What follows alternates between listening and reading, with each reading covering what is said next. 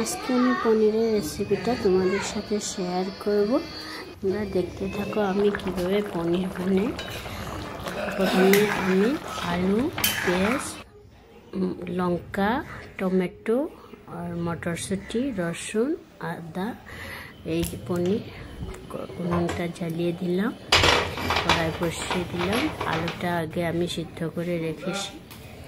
এখন আমি পেঁয়াজ আর রসুন, আদা এইগুলিকে পেস্ট করব গ্রাইন্ডারে। আমার পেস্ট করা হয়ে গেছে। এখন আমি লঙ্কা আর টমেটো একটু পেস্ট করব। পেঁয়াজগুলো আমি কড়াইতে দিয়ে দিলাম।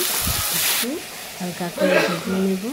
তারপর আমি এদিকে লঙ্কা আর টমেটোটা গ্রাইন্ডারে দিয়ে দিচ্ছি। গ্রাইন্ডিং করার পর আমি এদিকে একটু লাল লাল হতে হতে মটরশুঁটিটাও দিয়ে দিলাম কড়াইতে। তারপর পনিরটা দিয়ে দেব। পনিরটা দেওয়ার পর আমি ওই টমেটো একটু কেটে রেখেছি। একটা টমেটো, ওটা দিয়ে দেব। টমেটো পেস্টটা দিয়ে দিলাম। আমি এখানে পনিরটা ভাজা করে নিই, কারণ পনিরটা ভাজা করলে একটু শক্ত হয়ে যায়। আমার বাড়ির মেম্বাররা খেতে চায় না।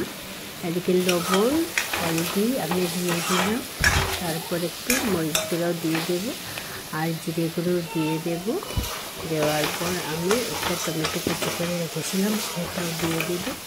এর উপরে আর আলুটাও বাতের থেকে বাতে আমি সিদ্ধ করেছিলাম, শর্টকাট।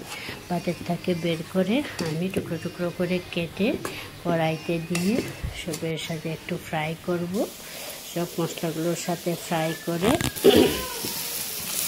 তারপর আমি চুলটা দিয়ে একটু সময় দেখে, গরম করে রেখেছি পানি।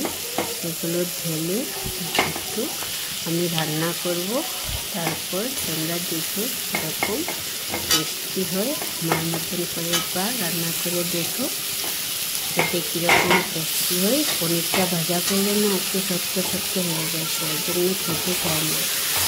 আমার পর আমার বাচ্চারা খেতে চায় না। আমি পনিরটাকে ভাজি নিই আর লাল পনিরটাও শক্ত হয়, সেজন্য আমি গ্রিন কালারের দিকটাকে আমি নিয়েছি ভালো লাগলে তোমরা লাইক কমেন্ট শেয়ার করতে ভুলবে না।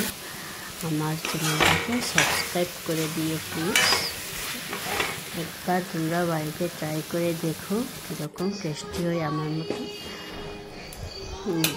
একদম কম মশলাতে আমি রান্না করে খেয়ে দেখতে পারো একবার ট্রাই করে বাড়িতে।